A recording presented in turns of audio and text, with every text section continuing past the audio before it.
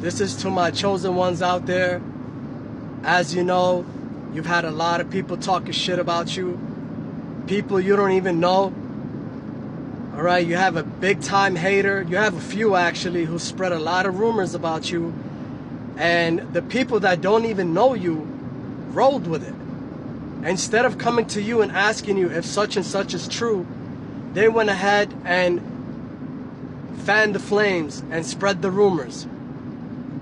But the Most High is going to teach them a harsh lesson. Every single one that talked down on your name, every single last one of them, is going to lose their homes.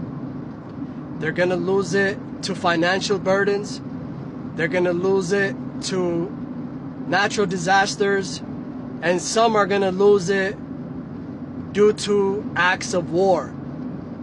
You have an entire town that came up against you and talked a lot of shit about you. They dragged your name through the mud. That town is gonna be decimated. Okay? People of that town won't even recognize the land that they used to visit. That's how bad they're gonna get it.